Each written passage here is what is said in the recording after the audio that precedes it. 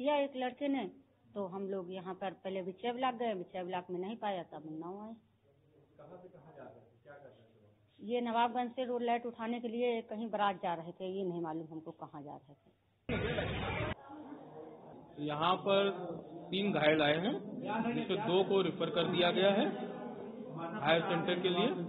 एक यहाँ पर भर्ती है और दो मृत अवस्था में आए थे जिन्हें एक सौ आठ लेके आई थी। तो